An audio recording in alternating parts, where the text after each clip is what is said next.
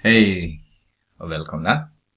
Det här är Nick Agrium igen. Jag ska gå igenom eh, det tredje avsnittet i matte 1b. Eh, det handlar om likformighet och symmetrier.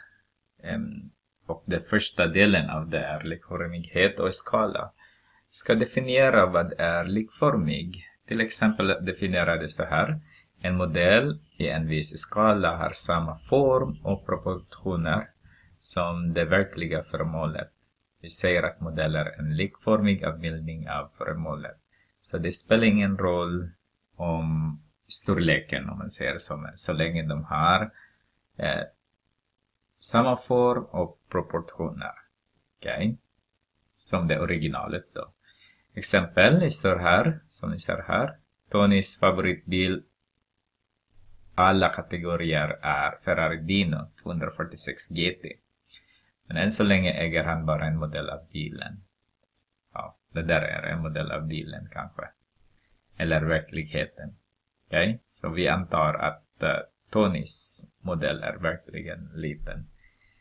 Modellen är tillverkad i skala. Så exakt samma. Men där skalan är 1 och 18. I verkligheten är bilen 430 cm lång. Hur lång är modellen? Jag brukar börja att gå igenom vad är en skala. Så vi har bild, jag brukar säga så. Och verkligheten. Om bilden är 1 och sen x, alltså större än 1 om man säger så, x är större än 1. Det vill säga det här är förminskad.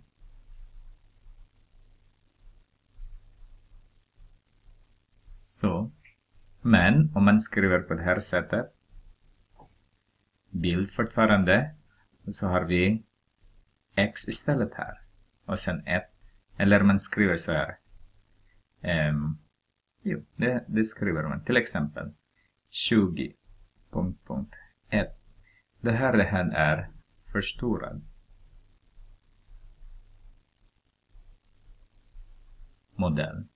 Till exempel insekter förstorar man. Bio till exempel förstorar man. Eh, men förminskning, kanske kartor till exempel, så förminskar vi upp. Eller bildmodellerna då som vi har där. Här är det verkligen enkla saker som vi ska tänka. Vi tänker bara på multiplikation och division här. Eh, till exempel den här nu då, ett 18 så det betyder det här varje centimeter motsvarar i verkligheten är 18. Betyder det. Så på bilden har vi 1. I verkligheten motsvarar eh, 18 centimeter varje centimeter. Så om vi säger x här vi vet att det är 430 i verkligheten. Ni kan, ni kan göra så här. Ni kan, jag kan kanske kan använda eh, en ljusare Den Jag skriver här. x är lika med. Om jag dividerar x med 1, jag kan visa så. Och sen 430. Och 18, alltså på bilden så har jag täljaren och nämnaren. I verkligheten har jag också täljaren och nämnaren. Och min täljare är x. Det måste vara i verkligheten 430 är min täljare. Så om man räknar den här, det är ungefär, jag räknat det innan ju. 430 dividerat med 18. Så är det 23,88 eller 23,89.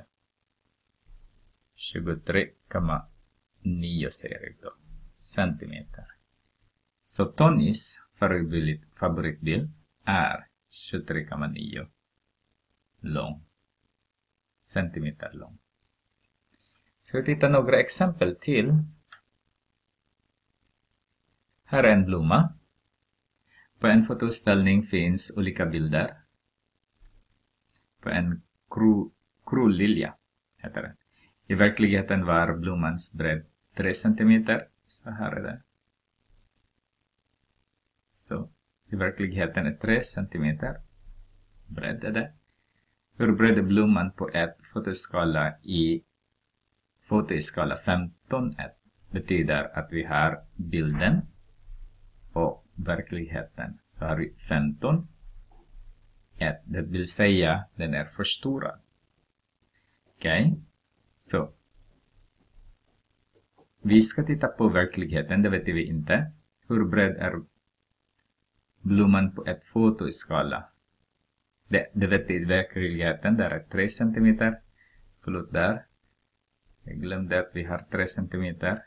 Och sen har vi, vet vi inte, är i fotot då, på bilden. Så har vi x dividerat med 15, alltså jag kan sätta in dem som är förhållande där. Och det ska också 3 dividerat med 1. Om jag multiplicerar båda led med 15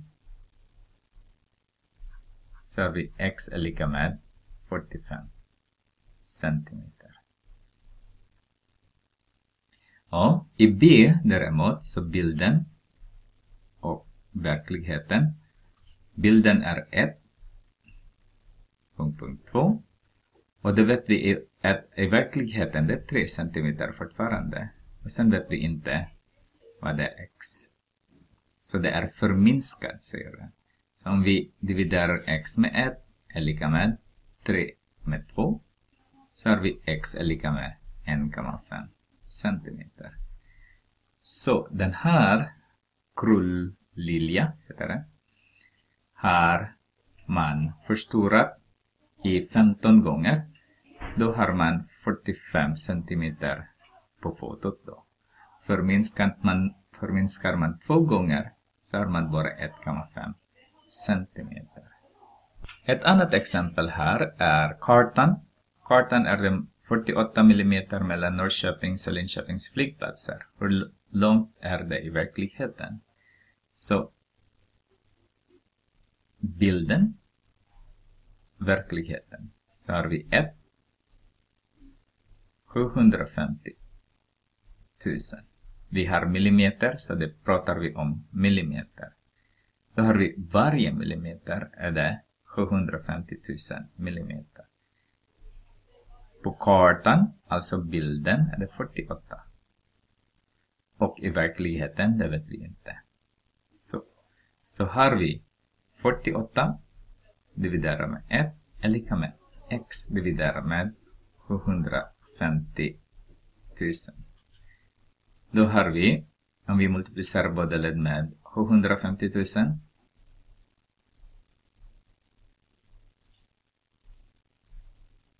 750 000 så den här blir x kvar där.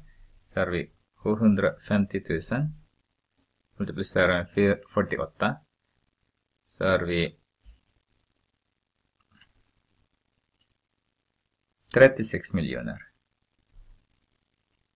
Multiplicerar 10 upphöjt till 6. Um, millimeter pratar vi om. Vill vi omvandla millimeter så har vi 36 multiplicerar med 10 upphöjt till 6. Ja, vad är det? Upphöjt till 6, ja. Millimeter. Så. Så vet vi att om vi omvandlar den i meter, en meter, så har vi 1000 millimeter. Och då har vi, det här är 10 upphöjt till 3. Så har vi millimeter, det blir 1, så har vi 3,6. Nej, 3, 3, 36. Multiplicerar med 10 upphöjt till 3, därför att 6 minus 3 är 3. Eller 1 miljon dividerat med 1000. Ja, 1000 är 1000. Och då har vi meter. Vill vi omvandla även det i kilometer så har vi 1 kilometer är en 1000 meter. Då har vi, den här blir 1, hela den där, så har vi 36 kilometer. Och det här är 36 kilometer. Så mellan Linköping och Norrköping, det var inte så långt.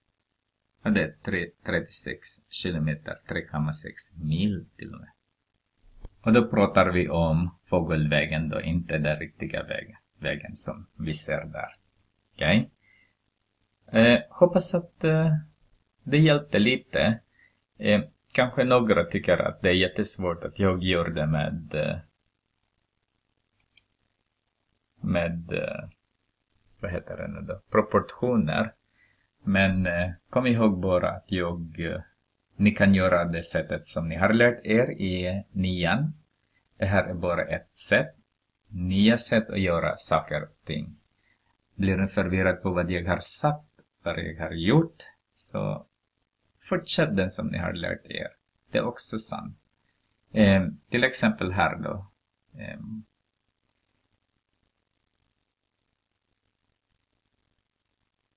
betyder att ni har förstorat. Så då måste man multiplicera istället. Här är det ska, för, äh, det ska förminska. Då måste man dividera. Okay? Förstorar man, multiplicerar man. Förminskar man, dividerar man. Eh, och den här skulle förstora därför att verkligheten är mycket större. Då, ska, då multiplicerade vi till exempel, som, som ni ser här. Så det är upp till er hur ni gör. Men att göra det med proportioner är jättebra. Alltså eh, göra dem i att verkligheten dividerar med verkligheten är lika med bilden dividerar med bilden. Så det blir jättebra. Jag har introducerat på det här sättet att räkna när jag gick igenom eh, vad heter det nu då? Procent i procent och eh, förändring och eh, hur många procent är det, hur, hur mycket är 100 procent och sånt. Jag har introducerat lite den här, sätt, det här sättet att räkna.